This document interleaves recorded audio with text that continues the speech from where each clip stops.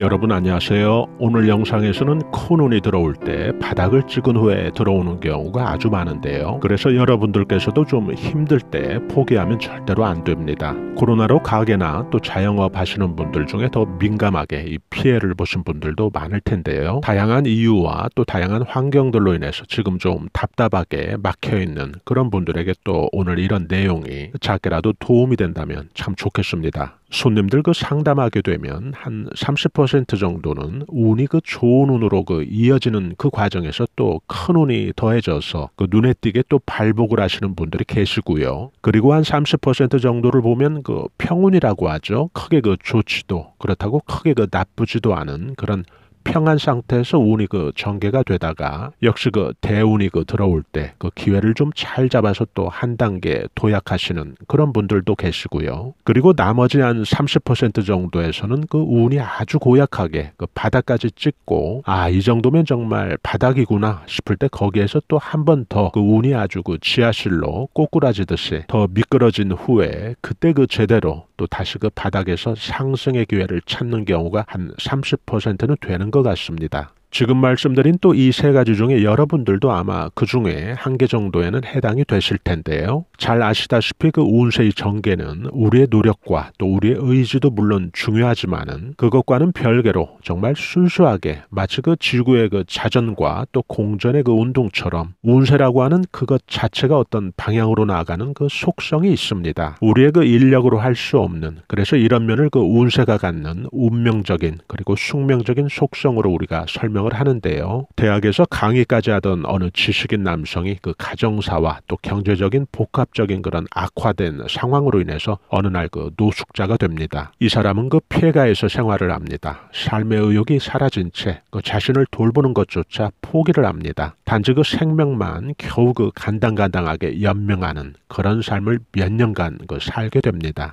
폐가는 그 사람이 살 수 없는 그 쓰레기 천지인 그런 공간이고요. 그래서 그가 지나가면 행인들도 그의 몸에서 나는 고약한 그 악취 때문에 고개를 돌리기가 일쑤였습니다. 개인의 운세가 그 가정사와 또 경제적인 어려움이라는 두 개의 그 폭탄을 맞은 셈인데요. 폭탄이 남긴 두 개의 깊은 구덩이로 이 남자는 깊이 깊이 그 수렁처럼 빠져듭니다. 고개를 돌리는 이웃들도 있었지만은 또 어떤 이웃은 이 남자에게 도움이 되려고 손을 내밉니다. 운세에서 설명하는 귀인의 운인 셈인데요. 귀인이 손을 내밀어 주는 거죠. 그러나 마음이 굳게 닫혀 있는 이 남자에게 그 이웃들의 선의가 이 남자에게 전해질 리가 없었습니다. 한여름에도 겨울 외투를 칭칭 에워싸듯 입고 다닐 그런 정도였습니다. 일반인의 시각으로는 이 정도면 분명 그 정신적인 문제까지도 충분히 그 예상이 되는 그런 수준이죠. 폐가와 가장 가까이 있는 집의 그 여성분이 그 포기하지 않고 이 남자의 그 마음을 열어보려고 간단한 음식을 그 폐가 입구에 가져다 놓는다든지 갈아입을 수 있는 옷을 또 가져다 놓는다든지 이렇게 그 포기하지 않고 그 관심을 기울이는데요. 그런데도 이 남자는 요지 부동이었습니다. 기이한 행색과 또 자신에 대한 자책이 아주 심했습니다. 자책의 그 영향으로 신체도 아주 목이 그 많이 그 숙여진 상태로 변형까지 됩니다.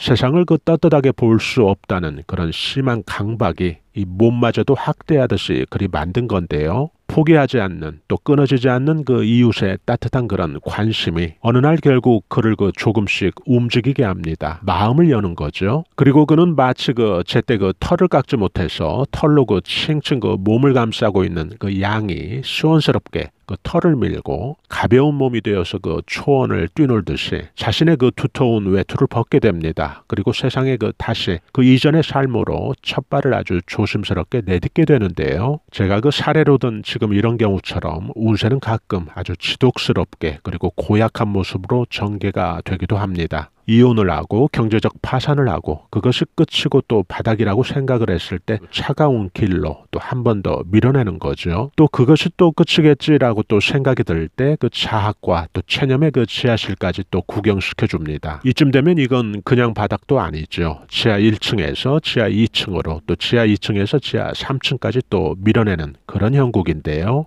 이쯤이면 그 절망의 깊이가 너무 깊어서 또 새로운 꿈이나 또 새로운 시도는 아예 우리가 그 할 생각을 못하게 될 텐데요. 그러나 운세라는 것은 그런 상황에도 또 그런 바닥에도 또 무엇이 원인이 돼서 운은 또다시 그 상승의 기지개를 켜게 됩니다. 지금 이 사례에서처럼 옷가지를 챙겨주고 또 먹을 것을 놓고 간 그 이웃들의 그 사랑과 또 이웃들의 그 관심이 이 남자에게 변화할 수 있는 결정적인 힘을 부여하게 되는 거죠. 이렇게 반전이 된 운은 그 깊이가 깊었던 것처럼 또 상승의 운세가 또 전개가 될 때는 보란 듯이 또 아주 높게 또 펼쳐지기도 하는데요. 여기에 또 어느 한 남자가 있었습니다. 100만 구독자를 보유한 아주 인기 있는 유튜버였습니다. 이 남자는 억대가 넘는 슈퍼카를 소장을 하고 있었고 인터넷에서 아주 기부를 잘하는 선행을 통해서 아주 어려운 사람들을 돕는 그런 천사처럼 사람들 입에 오르내립니다. 그런데 이 남자의 그 진짜 실체는 도박과 또 투기에 빠진 사람이었습니다. 이 남자는 자신의 그 이름이 알려진 것을 앞세워서 수십억의 그 사기를 치게 되고요. 결혼 준비 자금을 또 통째로 또 이 남자에게 사기당한 카페 회원부터 또 많은 사람들이 이 남자에게 사기를 당합니다. 사기당한 액수가 수십억이 넘습니다.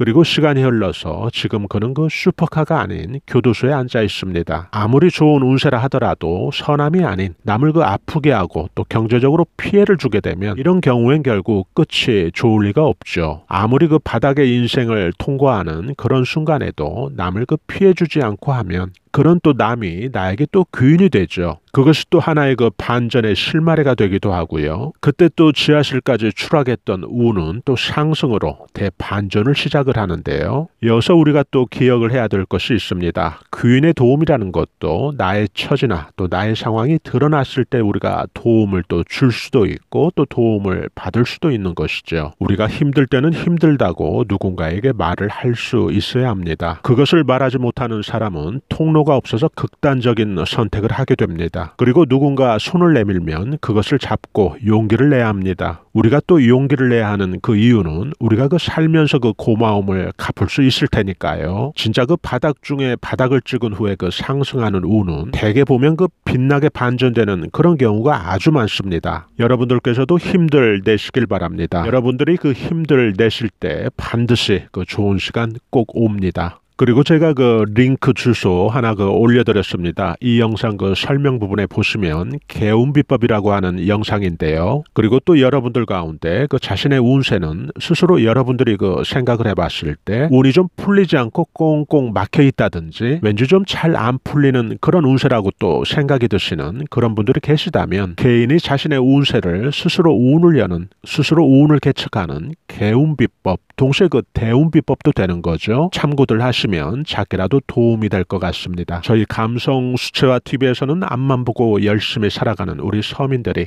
자연의 기운, 운세의 기운, 또 풍수의 기운으로 우리 삶을 한 단계 끌어올려 주는데 도움이 될 만한 각종 운세 정보, 풍수 정보, 꿈 해석 정보, 로또 운세 정보 올려드리고 있습니다. 중년에서 실버 세대까지 행복한 인생을 위한 자기 개발과 감성 충전에 도움이 되는 다양한 정보들도 함께 올려드리고 있습니다. 좋아요와 구독으로 또 이런 정보들을 여러분들께서 실시간 무료로 또 편리하게 받아보실 수 있으니까요. 저희는 다음에 더 알찬 정보로 여러분들 다시 찾아뵙겠 습니다. 대단히 감사합니다. 여러분 안녕히 계세요.